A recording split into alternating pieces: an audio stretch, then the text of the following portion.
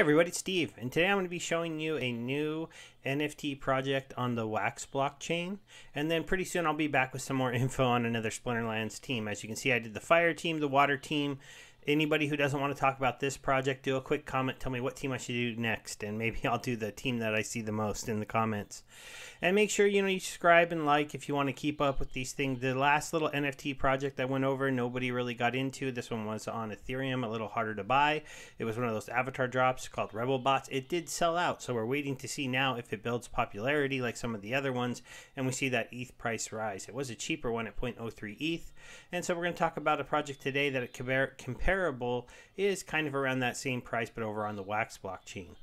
So the project we're going to be talking about today is Waxel. Now there's some exciting things going on with this drop. It did come out today. Sorry I didn't make the video pre-drop, but I just got a little bit busy with other things going on. It snuck up on me. But luckily this one isn't selling out super fast, and I think people are kind of overlooking this project because they do have a pretty good plan for these.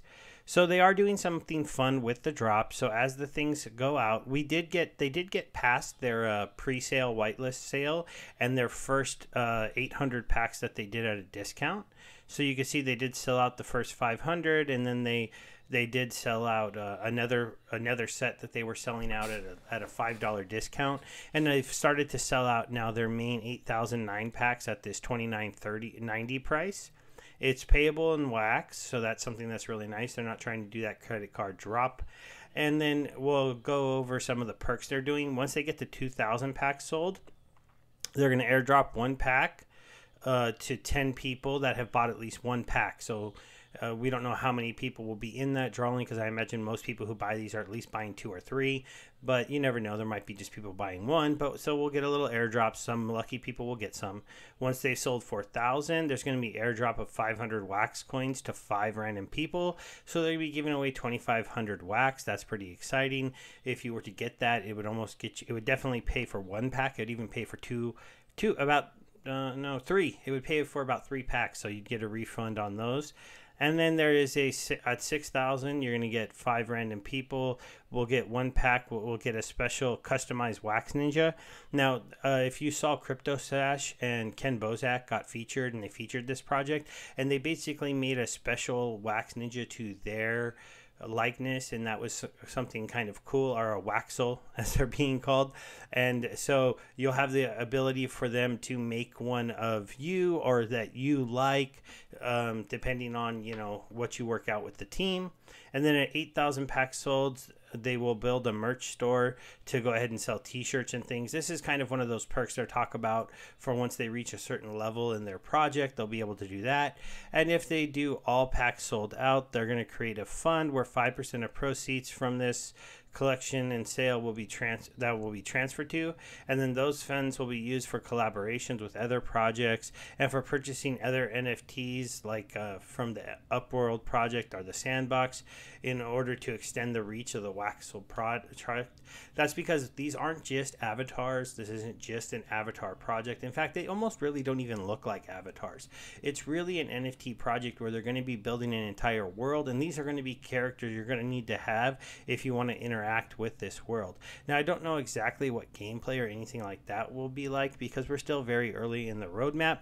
But let's go ahead and take a look at the Waxel Ninja and give you a more idea of what it was at. See, so here was the whitelist sale. Here was the discounted sale. Those are sold out at this point, and we're currently at the public sale. You do have plenty of time to get into this, but you only have a little bit of time before we're going to reach that first airdrop if you're we're interested in trying to win a pack. So as you can see, here's the here's the characters. I'll let it go here because it's just going to kind of randomly go through the different ones. It's a pixel art kind of caricature on a almost what I would say slightly better pixel art piece of art in the background. They're showing the mountain one here, but there are different backgrounds. But I just wanted to let you kind of so scroll through. They are animated, but you can. That is a one of the lucky attributes of it. So some of them are not animated, and the more rarer ones are animated. We, I'll have a link to this site so you can go through. They kind of explain it all. They explain how many packs were for each one of the sales, and then they did also talk about the different the rarities and the combinations. Here you can see they have some different races human, orc, undead, elf, or demons, different chances to get each one. As you get down here, they talk about how rare a legendary trait is at 2%. And if you go down further, they start showing you what are the legendary traits. So on the races, it's being a demon. On the eyes, it's having red eyes. On the belts, it's having a black belt. So you can see that there are some different ones. And then I have opened one, so I'll go ahead and show you mine when I when we get to that. I didn't get pretty lucky. I actually got a lot of common stuff. And this is just and here's the different backgrounds. So you can have a mountain, a wood background, a street, uh, they call this uh, Torii, and then this one here is in the fields those are actually all equal chance. So there's not a, a, legendary version of these. So this is really just a preference if you are hoping to get one of these. It's a 20% chance to get any one of these. You'd have to see you know if maybe the waxel looks good or not in there. And then they have this one here where you can come and like kind of highlight the pieces and see. So now that we've gone through that, let's take a quick look at the roadmap. So today is the relief of the Waxel Ninja collectibles on the Wax blockchain. That was right now. Once this gets going and hopefully the sale gets going, the team will go ahead and start to build out what they're calling the Waxel world. They're starting with the Waxel Ninja content, but they do have an ambitious roadmap, it looks like, to grow this out to having lots of different things and they are going to be kind of hoping to combine with some other projects to be able to issue some Waxel NFTs that would be in the theme of those projects, and then those projects maybe add in the Waxel NFTs to some kind of functionality within their project. The one that always stands out on the Wax project uh, blockchain is R Planet because it allows you to stake different NFTs to earn their cryptocurrency. But that project's kind of, you know, that, that token's gone down a little bit. It doesn't have the hype it used to have. But there are some other projects out there like Colonize Mars, and they have already talked about maybe even reaching out into different chains. So we'll have to see where that goes. None of that is in stone yet, so though, so this is a bit of a speculative buy hoping that they can grow this project, that they can sell these things, and that they can get this going and people will really get excited. Over here in quarter two next year, they want to just basically continue to grow that world and then start to give out special assets. They're talking about different armors, weapons, pets, uh, dishes, and buildings and things. So you can imagine, they're trying to let you eventually build out an entire world within this game. And they also talk about, you know, passive NFT generation. So being part of it will allow you to get some things you may be able to sell or just help you grow your little collection. Hopefully, you can get into liking this game. And then the, the really from there in the next quarter, this is a kind of a short roadmap for now. They're just going to continue building things and also start to talk about adding things besides just the ninjas into the game. But we'll have to see. Obviously, this roadmap is kind of general, so I imagine things will be really fluid over the next couple months into the early part of next year with the success of the pro- success of the project and what the community wants to do because they do have an active Discord where they're very talkative with us. Now we'll go ahead and get here as we'll just check in on the drops. Let me do a quick refresh. I think they were at 13 set yeah so they're at 13 17 sold of 10,000 maximum. So that is a bit of a slow buy. So if this worries you you can just watch the project maybe and see if they start to pick up some steam They've sold 216 out of the regular full price packs, and then they need to sell 684 more to get to 2,000 packs sold and do that first airdrop. And currently, pra- prices are at uh, 29.90, so this wax number will change, but they're selling them at this price, and then the whatever wax happens to be at when you come to purchase them they they go over here again all the milestones and everything that I talked about in the past. So I'll go ahead and go here. As you can see, I bought some packs. I did get into it this morning before I had a chance to make the video. I bought mine at the $5 discount. I was able to, they had a timer. You could buy one every minute. I was able to buy seven before it uh, reached its end. I could have maybe bought more, but I got onto it a little bit late. And then I opened up this little one right here.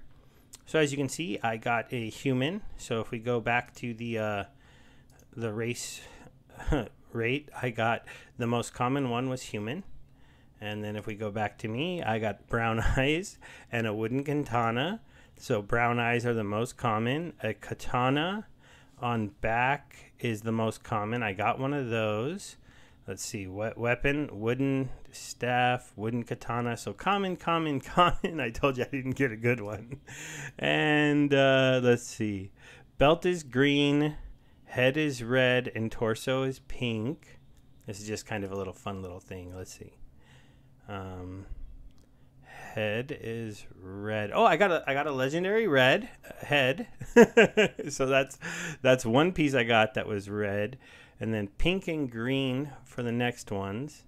So pink is actually pretty rare on the torso. So I got red, pink, and then green, which is down here, kind of on the more common side of the feet. And then I got the on on mine. I have the uh, the mountain backdrop, which is actually I think might be my favorite backdrop. This one's pretty cool. So that's kind of funny. You can't really see the um, the the pink neckline in there, and then mine is static, so you see he doesn't have any kind of action, but he does move a little bit. So I guess they all move a tiny bit. Um, because this is, I think, as animation as idle is about the most boring one, and I think that's right when you go to the animation tab. So, oh no, wait, idle's actually one up. So I'm idle with a katana bouncing. A completely static would be the the most common trait to get. So overall, maybe mine, you know, he started off really really common and then he has a few rare traits so we'll have to see how much he can be but this is the first one i've opened. I do have some other packs so i'm thinking about maybe organizing some giveaways uh, and you know i just like to hold on to everything on wax to just see where it goes. I'll open them if the project doesn't go anywhere just for fun and if it does well then i might resell a couple but you have to figure out how you want to play any drop you decide to get into. Let's see did i have this is just a drop all right, guys, I think that's all today. Other than just like I said, I'll have a link to their Discord. You can come and check it out. You can come talk to the team. You can come see if you do want to get involved with this. It was a short video today, so thank you very much for hanging out with me, and I'll be back soon. Bye.